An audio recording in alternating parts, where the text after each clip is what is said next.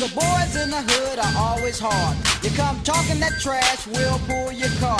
Knowing nothing in life but to be legit. Don't quote me, boy, cause I ain't said shit. shit.